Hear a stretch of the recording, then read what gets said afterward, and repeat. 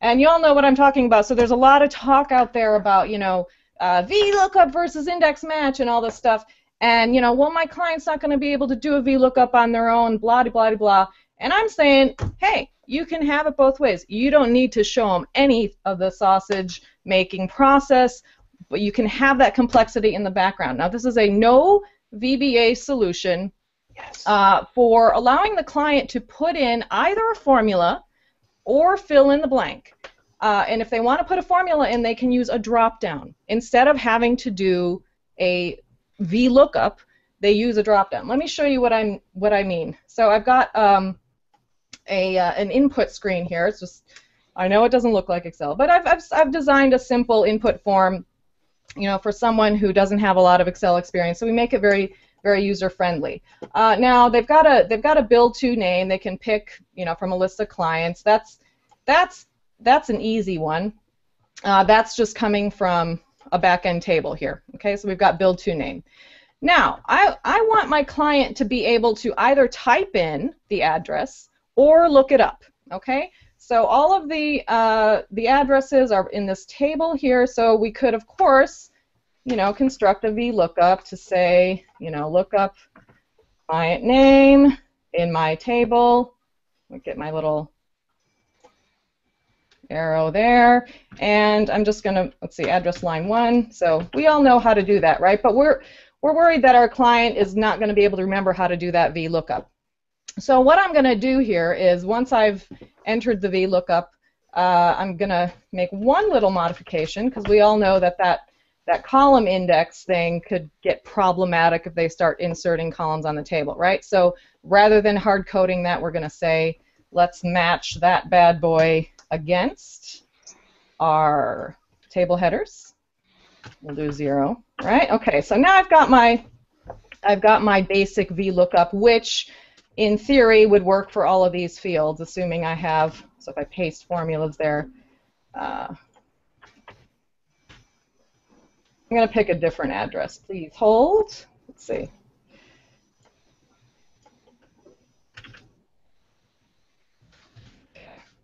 So that same, is everybody with me so far? So I've yep. basically got the exact same VLOOKUP syntax, right? But I don't want them to have to put that in every single time. So what I'm going to do is I'm going to use a named formula. This is just like creating named ranges, but you use the formula syntax as the name definition. So what I did here is I just copy that VLOOKUP syntax, and I've done this in advance, like on the cooking shows, and I've added, I've added a name and I've called that name Look It Up, right? So I added that name, called it Look It Up, and uh, and I say yes, I want to make changes.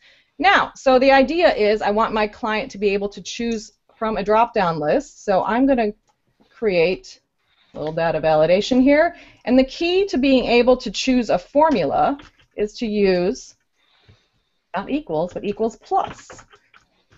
That lets it know, look it up.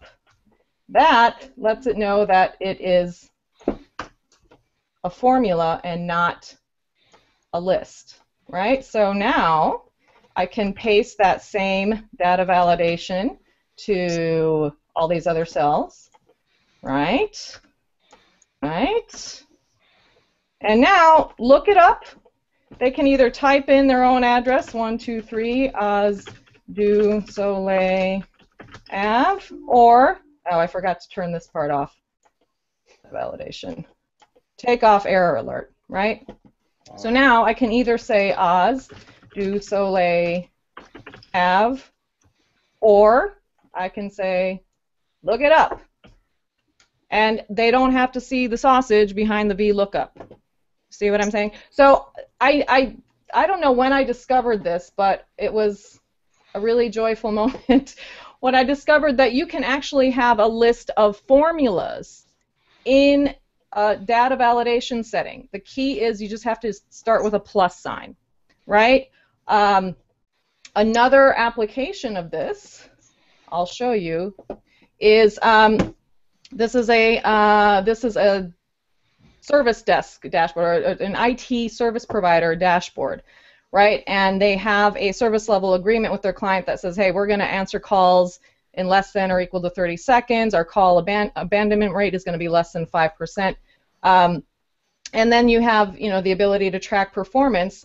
I might want to see that metric in days or hours or minutes or seconds.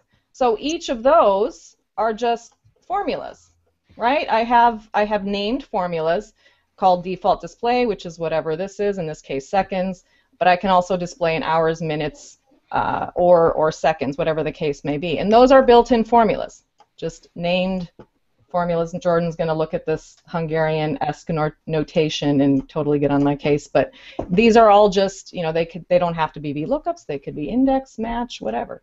Well, you So- are Hungarian, so it's different. I am indeed.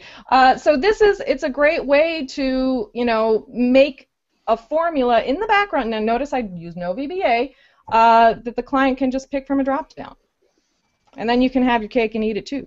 So you have the ability because that was always that was an issue for a long time. I'm like, how can I? I want to protect the, the formula, but sometimes I want them to be able to overwrite with just whatever they want Yeah. right? So you can you can make it easy for them to understand um, without having to see all the sauces. Okay, so that's that's formulas in drop-down list. I know I went through that very fast, so if anybody would like a copy of this little template, I'd be happy to share it on uh, Sure. wherever you you, guys, you uh, guys have it. I would like Yeah, we'll share, it, we'll share it through the blog or through our website. Okay, Yeah. yeah, I'll, I'll send it to you guys offline. Um, can you Right. Can you pick another bill too, and let's let's uh, go through just an example. Okay. Uh, let's see. I'm trying. I'm gonna try to find one that has that has a fully populated our address. Okay, let's go with let's go with Ace Hardware. All right. So let's go with these. Obviously, these are these names have been changed to protect the innocent. But so there you go. Uh, so now it still says Oz du Soleil Ave, but I if I just change that to look it up, it's it's a VLOOKUP that pulls in the address for that client Okay. right? Okay. Same thing for all for all of these. I can choose look it up. There's no line two address. Look it up. Look it up. Look it up. Right? So I don't need that whole VLOOKUP syn- syntax. Great. Great. I like that. I like that. See? Oh man. And you got more bandit. Szilvia. Wow. All right. You're welcome. Man. Four. All right.